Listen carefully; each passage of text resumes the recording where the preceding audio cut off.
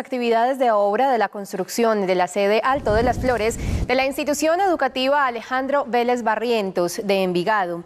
Se trata de uno de los megacolegios que estaban interrumpidos en su construcción y que debió ser entregado hace un año.